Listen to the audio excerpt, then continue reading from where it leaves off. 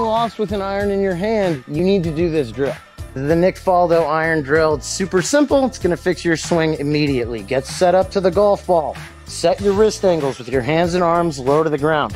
Push your trail shoulder behind yourself and then strike the golf ball. Pretty simple, right?